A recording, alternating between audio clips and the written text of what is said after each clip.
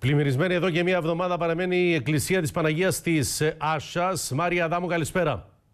Καλησπέρα Νικήτα. Οργή και θλίψη προκαλούν οι εικόνες ε, που βλέπουμε και τις οποίες εξασφάλισε ο Αντένα της εγκατάλειψης και της πρωτοφανούς φθοράς που εξακολουθεί να υπόκειται η Εκκλησία της Παναγίας στην κατεχόμενη Άσα.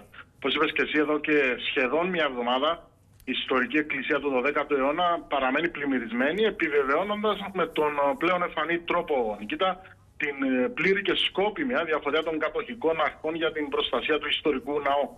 Ε, σημειώνουμε ότι πρόσφατα πραγματοποιηθήκαν εργά συντήρησης στον ναό από τη Δικοινοτική Επιτροπή για την Πολιτιστική Κληρονομιά. Με τούτης στο πρόβλημα των πλημμυρών φαίνεται δεν αντιμετωπίστηκε, αλλά και διονγκώθηκε.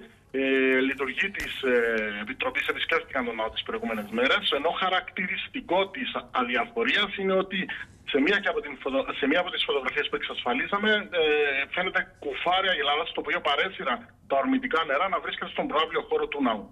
Ευχαριστούμε τον ε, Μάριο Αδάμου. Απαράδεκτες εικόνες.